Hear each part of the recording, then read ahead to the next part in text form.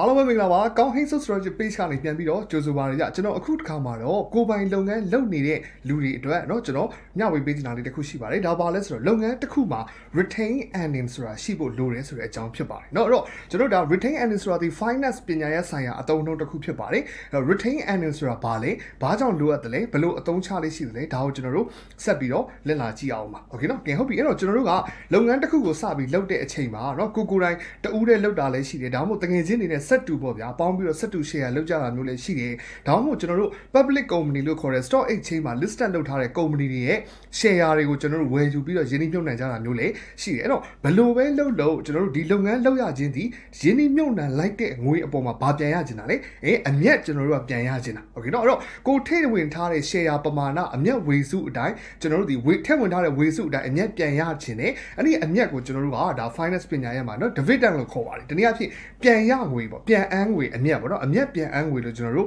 ပြောလို့ရှိပါတယ်အဲ့တော့ dividend ကျွန်တော်တို့များများလိုချင်ကြတယ်เนาะဥပမာထားပါတော့ဗျာ example အဖြစ်ကျွန်တော်တို့ပြောရမယ်ဆိုရင်เนาะ တငယ်ချင်း3ဦးရှိတယ်ဆိုပါတော့เนาะအဲ့တော့ဒီတငယ်ချင်း3ဦးကကျွန်တော်တို့3500တယောက်ကို3500စီထည့်ပြီးတော့3500နဲ့စီးပွားရေးလုပ်ငန်းတစ်ခုစပြီးတော့လုပ်ကြတယ်ဆိုပါတော့ဗျာเนาะ3ယောက်လုံးညီလူညီမျှလုပ်ကြတယ်တယောက်ကို3500လဲငွေအညီမျှထည့်ပြီးတော့ကိုပိုင်စီးပွားရေးလုပ်ငန်းတစ်ခုလုပ်တယ်ဆိုပါတော့ကဲဟုတ်ပြီအဲ့တော့ဒီလိုလုပ်နေရင်းနဲ့တစ်နှစ်ကြာသွားပြီ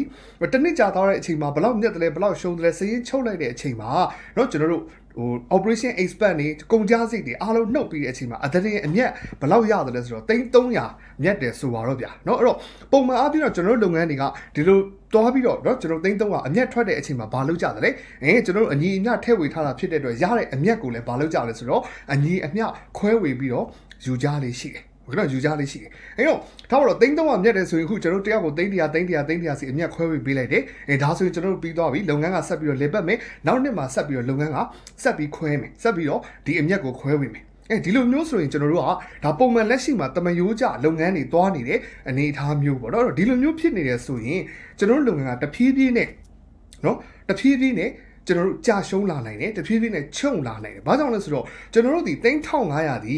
ဒီနှစ်မှာ3500တန်တယ်ဟုတ်နော်နောက်နှစ်ကျရင်ဒီ3500ဒီပမာဏအားဖြင့်3500တန်ပေမဲ့တန်ဖိုးအားဖြင့်3500ဘိုးလောက်မနစ်ကလောက်ဝယ်ခြင်းမဝယ်နိုင်တော့မယ်ဘာကြောင့်လဲဆိုတော့ကျွန်တော်တို့မှာငွေကြေးဖောင်းပွားမှုဆိုတဲ့ inflation rate ရှိတယ်ဆိုတော့ကျွန်တော်တို့ငယ်ငယ်တုန်းကမွေးကားတစ်ပွဲကိုနှစ်ချက်ပေးရတယ်အခု900ဖြစ်နေပြီ ငွေကြေးရဲ့ buying power လို့ခေါ်တဲ့ဝယ်နိုင်တဲ့စွမ်းအားသည်တစ်နှစ်ထက်တစ်နှစ်ကျွန်တော်တို့ဒီရော့ကျလာလေးရှိတယ်เนาะဒါသည်ကျွန်တော်တို့ inflation rate လို့ခေါ်ပါတယ်အဲ့တော့ဒါသည်နိုင်ငံတိုင်းမှာရှိတယ်ကျွန်တော်တို့နိုင်ငံတိုင်းမှာကြုံရမှာပဲเนาะအဲ့တော့ဒါပါတော့အဲ့တော့ကျွန်တော်တို့ဒီထားပါတော့ဗျာ example ထပ်ပြီးပြောရင်3500နဲ့เนาะမော်တော်ကား5စီး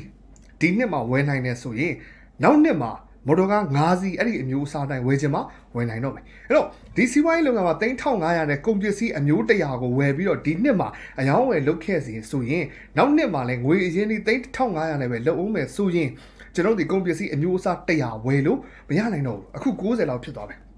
โอเคနော်ဒါပြင်ကြံတဲ့အခြားသော expert တွေကဘာဖြစ်လာလဲပို့ပို့ပြီးတော့ expert တွေကပိုတက်လာတယ် โอเคနော်အဲ့တော့ကျွန်တော်တို့အမျက်လည်းရော့သွားမယ်ကျွန်တော်တို့ရဲ့ငွေဝယ်နိုင်တဲ့စွမ်းအားကလည်းရော့သွားမယ်နောက်တစ်ချက်ကျွန်တော်တို့ဘာရှိအောင်မလဲเนาะအဲ့တော့ပြပက expert နေတက်လာတဲ့အပြင်ကျွန်တော်တို့လုပ်ငန်းမှာလေပတ်နေတဲ့ပိုင်ဆိုင်မှုပစ္စည်းတွေ assets လို့ခေါ်တာပေါ့ဗျာเนาะဥပမာထားပါတော့ကျွန်တော်ကရေတက်ဆက်လုပ်ငန်းလုပ်တယ်ရေတက်ဆက်ကြီးဝယ်ထားတယ်ဒီရေတက်ဆက်ကြီးတွေကျွန်တော်တို့တစ်နှစ်သုံးပြီးသွားရင်သူ့ရဲ့တက်တန်းကဘာဖြစ်သွားပြီလဲတစ်နှစ်တူသွားပြီ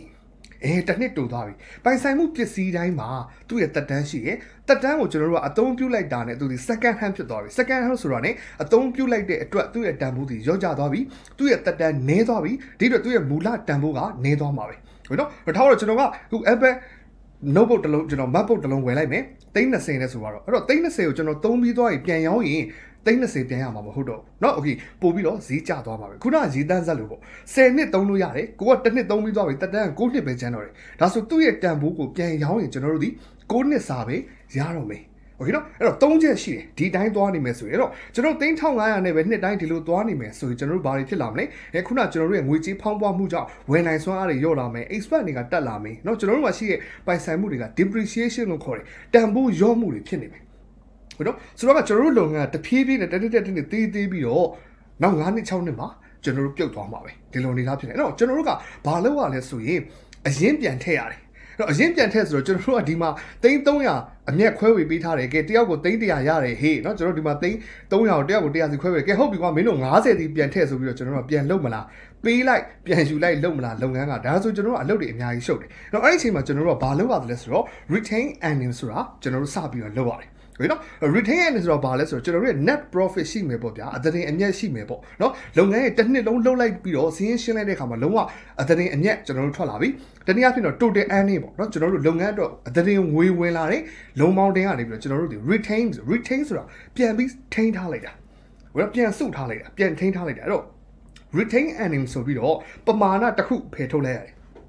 ဟုတ်ပြီနော်ခုန3300မြတ်တယ်ငယ်ဟုတ်ပြီ3300ကို350ဖယ်ထားလိုက်မယ်250ကိုပဲ3ယောက်ခွဲယူမယ်အဲ့ဒါမျိုးပေါ့ဟုတ်ပြီနော်အဲ့တော့ကျွန်တော်တို့ဒီခုနကလိုပြန်အမ်းမဲ့အမျက်ငွေ dividend နည်းကနေပြီးတော့ကျွန်တော်တို့ကပြန်မခွဲပေးခင်မှာပြန်ပြီးတော့ထိန်းထားလိုက်တာ retain လုပ်ထားလိုက်တဲ့ earning เนาะအမျက်ကိုကျွန်တော်တို့ကဘာလို့ခေါ်လဲဆိုရင် retain earning လို့ခေါ်ပါတယ်အဲ့တော့ဒီလိုမျိုးခွဲခြားကြလိရှိတယ်အဲ့တော့ retain earning ဘာလို့ထားသလဲဆိုရင်ခုနကကျွန်တော်ပြောခဲ့တဲ့အဖြစ်အပျက်တွေ ကျွန်တော်တို့မဖြစ်အောင်ဆိုးကျိုးတွေမဖြစ်အောင်လုပ်ကြရဟာလေးရှိတယ်အဲ့တော့ခုနကလိုကျွန်တော်တို့အတင်းအမြတ်ထဲကနေပြီးတော့ကျွန်တော်တို့ပြန်ပြီးဖယ်ထားပြီးဒီ retain ending ကိုကျွန်တော်တို့ဘာလုပ်ကြသလဲနံပါတ်1အချက်အကျွေးဆက်ကြတယ်အကျွေးတွေဖယ်ဆက်ကြတယ်ဥပမာထားပါတော့ဗျာလုပ်ငန်းတော်တော်များများဒီအကျွေးနဲ့မကင်းဘူးအဲ့တော့ကျွန်တော်ကတိန်း100နဲ့လဲပတ်နေတဲ့လုပ်ငန်းကတစ်လောက်10သိန်းရတယ်ဆိုပါတော့ဟုတ်ပြီနော်အဲ့တော့ကျွန်တော်တိန်း200ဖို့လဲပတ်ရင်တိန်း20ရမှာသေးကြတယ်ဆိုရင်ကျွန်တော်3ချက်တိုးနဲ့နောက်ထပ်သိန်း100ထက်ချီးပြီးတော့ဒီအလုပ်ကိုလုပ်မှာပေါ့ နော်ဘာကြောင့်လဲသိန်း100နဲ့လုပ်ရင်ကျွန်တော်10သိန်းထက်မြတ်မှာတေးကြတယ်ဆိုရင်3ချက်တိုးတစ်လောက်3သိန်းဒီကျွန်တော် AACC ပေးနိုင်တယ်ကျွန်တော်တို့က9သိန်းတောင်ပိုများအောင်ပါဟုတ်တယ်နော်အဲ့တော့လုပ်ငန်းတိုင်းမှာအကျွေးတွေရှိလိရှိတယ်လုပ်ငန်းတိုးချဲဖို့တခြားပါဗျာအကြောင်းမျိုးမျိုးပေါ့နော်အဲ့တော့အဲ့ဒီအကျွေးတွေကိုကျွန်တော်တို့ကဖဲ့ပြီးတော့ဆက်ရတယ်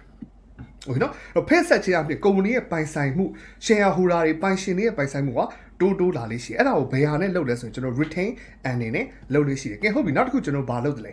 ကုမ္ပဏီရဲ့ efficiency ပိုကောင်းအောင်လုပ်တယ်အဲပိုကောင်းအောင်လုပ်တယ်အဲ့တော့ခုနကကျွန်တော်တို့ကထားပါတော့ဗျာလုပ်ငန်းလေးစုလုပ်တဲ့အချိန်မှာဥပမာဖက်နှက်ထုတ်မယ်ဆိုပါတော့เนาะဖက်နှက်ကိုကျွန်တော်တို့ကတရေပြားကြီးပေါ်မှာเนาะကျွန်တော်ဖက်နှက်ပုံစံလေးတွေကိုလူတဦးချင်းစီနဲ့ကက်ကြီးနဲ့ညှက်ပြီးတော့ထုတ်တယ်ဆိုပါတော့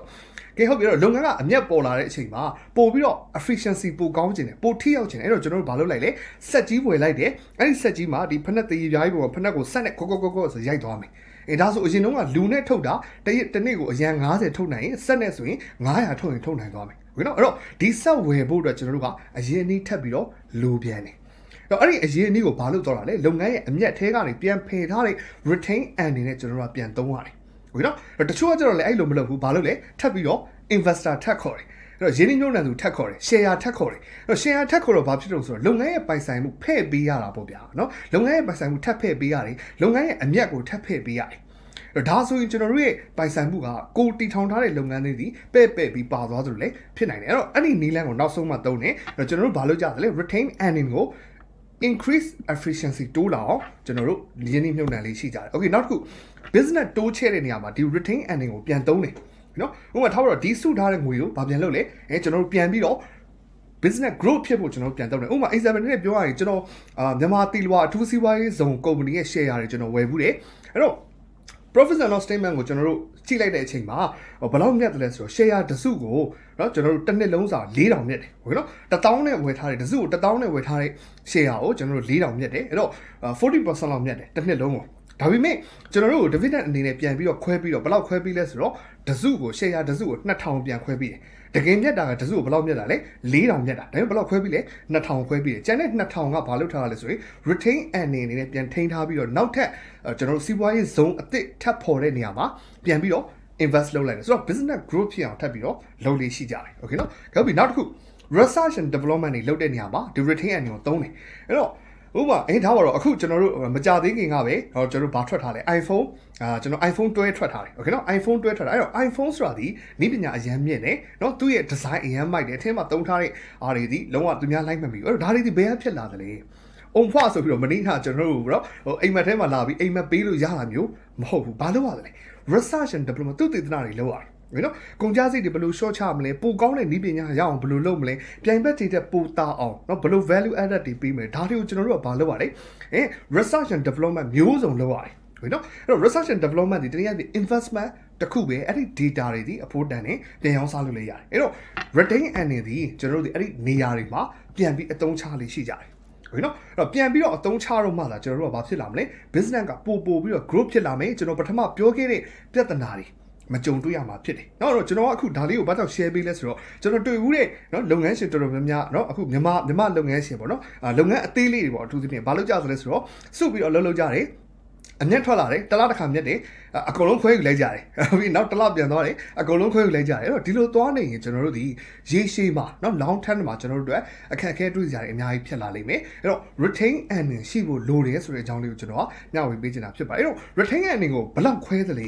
ဘလို့ခွဲသလဲเนาะဒါဒီမိန်းကုန်းတစ်ခုဖြစ်လာတယ်အဲ့တော့ကုမ္ပဏီကြီးတွေမှာတော့ကျွန်တော်တို့ကဘာလုပ်လဲဆိုတော့တစ်နှစ်ကုန်သွားပြီဆိုရင်ကျွန်တော်တို့ share holder meeting ထိုင်ကြတယ်เนาะเนาะဘုတ်အဖွဲ့ meeting ပေါ့เนาะ share holder တွေလာ meeting ထိုင်ကြတယ်ကုမ္ပဏီကတော့နောက်ထပ်ပြီးတော့ဘလို့လုပ်ငန်းတွေချဲ့ဖို့ရှိတယ်เนาะအဲတစုကိုတော့ကျွန်တော်ဘယ်လောက်မြတ်တယ်အဲ့တော့ retain earning ကိုတော့ဘလောက်ထားပြီးတော့ဘလောက်ပဲပြန်ထုတ်ပေးမယ်အဲဒါမျိုးအစည်းအဝေးဆုံးဖြတ်ချက်နဲ့တွားကြလိမ့်ရှိတယ်အဲ့တော့ကျွန်တော်တို့စဉ်းစားဖို့လိုတာက public listed တင်ထားတဲ့ stock exchange မှာတင်ထားတဲ့ကုမ္ပဏီတွေဆိုရင် dividend အမျက်ပြန်အန်းတာ share ပိုင်ထားတဲ့ share ဝယ်ထားတဲ့လူတွေကိုပြန်အန်းတဲ့အမျက်ပမာဏနည်းလို့လည်းမရဘူးအမျက်ပမာဏနည်းရင်ဘာဖြစ်လဲ share ပိုင်ရှင်တွေကမကျေနပ်တော့ဟာငါထောက်တော့ငါ1000တောင်ပေးထားတာတစ်နှစ်လုံးနေမှဟို200ပဲပြန်ရတယ် ဒီလိုကြီးလားအဲဒါဆိုသူတို့ကဘာဖြစ်မလဲသူတို့ပိုင်တဲ့ share တွေကိုထုတ်ရောင်းမယ်ဒါဆိုရောင်းတဲ့လူများရင် share ကဈေးကျမယ်အဲဒီလိုလဲကျွန်တော်တို့ကဖြစ်နိုင်သေးတယ်เนาะအဲ့တော့ share တွေပြန်မထုတ်တော့အောင် share တွေထုတ်မရောင်းအောင် company share ဈေးတန်ဖိုးတွေမကျအောင်เนาะကျွန်တော်တို့က dividend ပမာဏကိုလည်းအရန် short ချပြီးတော့ပေးလို့လေမရပြန်ဘူးအဲ့တော့ဈေးကွက်ထဲမှာသူများကုမ္ပဏီတွေဘယ်လောက်ပေးသလဲကိုတို့ဘယ်လောက်ပေးရင်ကောင်းမလဲငါတို့ရှေ့ဆက်လုပ်မဲ့လုပ်ငန်းတွေကဘယ်လောက်ရှိသလဲဒါတွေပေါ်မှာမူတည်ပြီးတော့ကျွန်တော်တို့ကဆုံးဖြတ်ရတဲ့ရှိတယ်โอเคเนาะအဲ့တော့ retain earning ဒီအရန်များရင်လည်းမကောင်းဘူး အရန်နည်းရင်လည်းမကောင်းဘူးတော့အရန်အများကြီးလုပ်တယ်ဆိုပေမဲ့เนาะကျွန်တော်တို့ဒီဘက်မှာထိထိရောက်ရောက် business ကိုတိုးချဲ့တာတွေပို့လုပ်နိုင်တယ်ဆိုရင်လေပို့ပြီးတော့ကောင်းတယ်အဲ့တော့ retain earning ဒီလုပ်ငန်းအတွက်ကျွန်တော်တို့တိုးတက်မှုအတွက်ရှိဖို့လိုတယ်မဖြစ်မနေရှိဖို့လိုတယ်ဒါကိုသိဖို့လိုပါတယ်အဲ့တော့တခုလိုတာကဟုတ်ပြီအဲ့တော့ share ရှင်တွေကဒီပတ်စံအမျက်ကိုပြန်မယူဘူးเนาะလုပ်ငန်းထဲဝယ်ပြန်ထည့်ပြီးတော့လုပ်ငန်းဝယ်ဝုန်းကနေအကြီးအကျယ်အကြီးဖြစ်အောင်တိုးချဲ့မယ်ဒီလိုဆိုရင်တော့မကောင်းဘူးလားဒါကျွန်တော်နောက်ထပ်မေးလေးရှိတယ်မေးခွန်းဖြစ်တယ်ကောင်းပါလေကောင်းတယ်ဥပမာ Apple လို့ပေါ့အဲ့ တော့ Apple က dividend ထုတ်ပေးတာမျိုးမရှိဘူးသူဘာလို့လဲဆိုတော့ retain အနေနဲ့ကိုပဲအများစုပြန်ထည့်ပြီးတော့လုပ်လို့ရှိတယ်အဲ့တော့သူကအဲ့လိုလုပ်တဲ့အတွက်ဤပညာအသစ်တွေထပ်ထွက်လာတယ်ရင်းနှီးမြှုပ်နှံမှုအသစ်တွေထပ်လုပ်တယ် business ကိုထပ်ချဲ့တယ်အဲ့ဒီအတွက်ကုမ္ပဏီကတန်ဖိုးပိုကြီးလာတယ်ပိုများလာတယ်အဲ့တော့ share ပိုင်ရှင်တွေကအမျက်ခွဲတမ်းပြန်မရတော့ညားလေသူတို့ရဲ့မူရင်း share ဈေးနှုန်းကတဖြည်းဖြည်းတက်လာတယ် မူလ30နဲ့ဝယ်ထားတဲ့လူက100လောက်ဖြစ်ရင်ဖြစ်နေပြီအဲသူကတော့ဒါကိုကျွန်တော်က capital gain လို့ခေါ်တယ် share ရဲ့မူရင်းပိုင်နဲ့မူရင်းတန်ဖိုးအဲ့တော့အဲ့တန်ဖိုးကပိုပိုများလာတော့ share ရှင်ကပြောတယ်ဒီလိုနေတာဒါပေမဲ့ကျွန်တော်ဘာကြုံတွေ့တတ်တယ်လဲဆိုတော့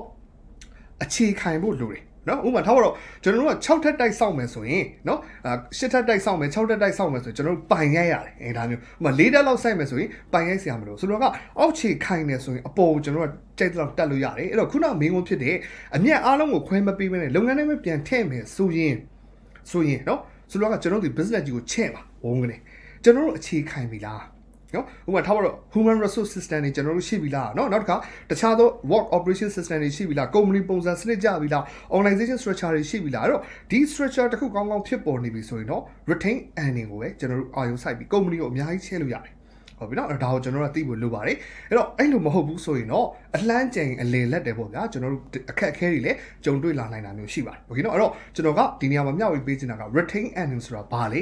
ဘာကြောင့် retain earning ရှိဖို့ အရေးကြီးသလဲဆိုတဲ့အချက်ကလေးတွေကိုမျှဝေခဲ့တာဖြစ်ပါတယ်။ Okay ဟုတ်ပါပြီ။အဲ့တော့ကျွန်တော်ရဲ့ page ကတော့ Coinso Strategy page ဖြစ်ပါတယ်။လက်တွေ့အသုံးဝင်တဲ့ပညာရပ်တွေကိုမျှဝေပေးနေပါတယ်။ကျေးဇူးအများကြီးတင်ပါတယ်။ကျွန်တော် Coinso ပါ။